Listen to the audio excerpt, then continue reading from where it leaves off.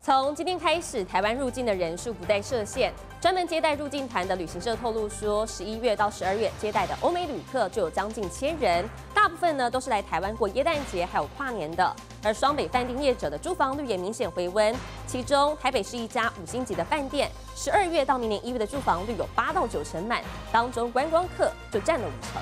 机场开板上，一个个国际航班等着入境来台。十二月十号，台湾入境人次终于不再设限。根据淘机预报的入境旅客数，十号相较上周六略增超过两千人左右。而专门接待入境团的旅行社也早已备战，光是十一、十二月接待的欧美旅客就有将近上千人。尤其美国客回流最明显，主要以散客居多，来台过圣诞跟跨年。东南亚客就是来台，希望可以看这个台北一定的烟火。看烟火以后呢，大部分的客人会去。往这个环岛的旅程，也蛮期待，就是明年就是恢复到二零一九年的水准。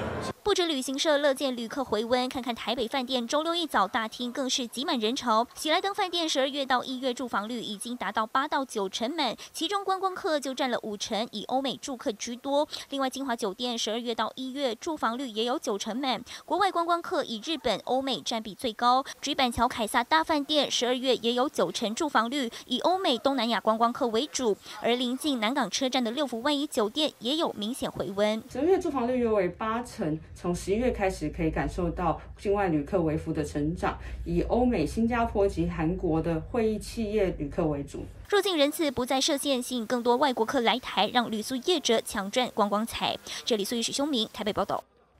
持续入冬，但是气温依旧是蛮高的。云林台西因此传出了文革大量暴毙，有的养殖池是全军覆没，损失了好几百万元。水事所到场勘验，推测原因是气候异常高温，造成了底土恶化，才会导致文革缺氧暴毙。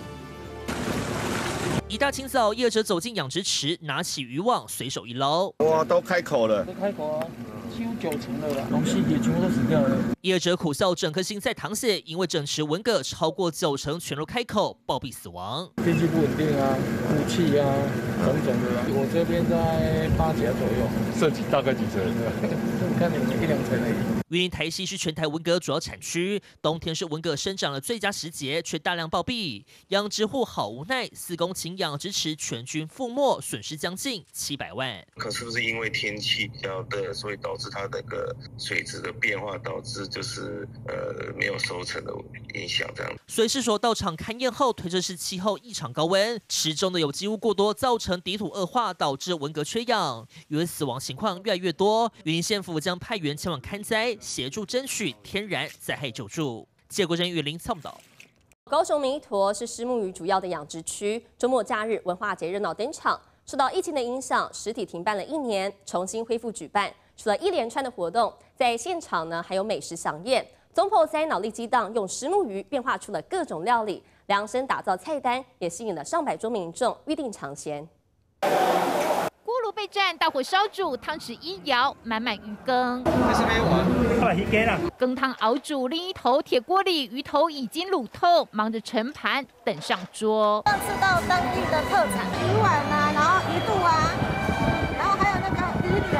朋友是喜欢吃那个虱目鱼筒，我们是。在地的会支持我们在地的那个食材，石目鱼大餐，民众满心期待，还有鱼柳等着料理，搭配清蒸龙虎石斑，另外乌鱼子活虾，满桌海味。多价，几乎百万啊！高雄弥陀养殖石木鱼达三百多公顷，年产量约有六百万斤，肉质鲜甜，不止鱼肉，鱼肚鱼肠可煎煮，鱼头能卤能煮汤，还能做成鱼丸、鱼松。一尾石木鱼全身上下都有经济价值。在地的海产，就我们南寮渔港生产的海产，这样结合起来半高。今年有成本有提高一些，今年是三千八，去年是三千五。去年疫情影响实体停办，今年活动重返回归。尽管成本提高，但中破塞拿出看家本领，大展厨艺，一百二十桌额满，石目鱼料理虏获大小朋友的胃。记者综合报道。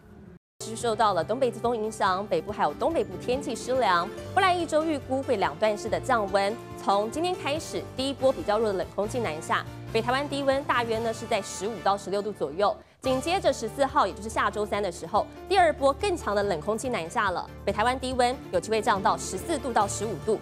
不过呢，气象局评估说还不到大陆冷气团等级，但是在迎风面地区降雨还会持续一周，都会是阴雨绵绵的天气形态。连日阴雨，空气潮湿，北部有民众很苦恼，上网发问，衣服都晒不干，没有烘衣机怎么办？底下留言刷一排，开除湿机。也有人觉得北部人烘衣机必备，因为接下来雨还会继续下。最容易下的地方还是在基隆北岸、大台北山区跟宜兰地区这边。在今天一直到下周二之前，雨势上都会比较持续、比较明显。到了下周二、下周三之后到下周五的话，虽然说雨势上有机会稍微比较减小，发生大雨的几率比较降低。不过整体而言，形态上在迎风面都还是持续会比较容易下雨，特别是基隆北岸、宜兰地区还有大台北山区。北台湾未来一周降雨又降温，气温也会两阶段式下滑。十号第一波较弱的冷空气南下，到十三号下周二，北台湾低温大约十五十六度。中南部气温大多落在十七到二十六度，不过最冷的时间点是在下周三，第二波更强的冷空气南下，北台湾低温有机会降到十四十五度。目前来看，可能到周三到周五都是持续比较偏冷。最新的预报，它冷空气的强度是有在修弱的一个状态，所以大陆冷气团的几率上是比较降低的。何时才会有第一波大陆冷气团南下，还要持续观察。另外，周六上午八点，在菲律宾东方海面有热带性低气压。生成有机会发展成为今年第二十五号台风，不过气象局评估环境吹东北季风将不利发展，就算成台也不会维持太久，对台湾比较没有影响。记者张周伟杰特报道。